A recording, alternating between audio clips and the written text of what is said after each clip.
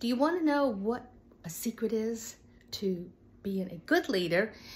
And it's actually found in the Bible in Habakkuk 2:2. It's about communication. God's word says, write the vision, make it plain that those who read it can run with it.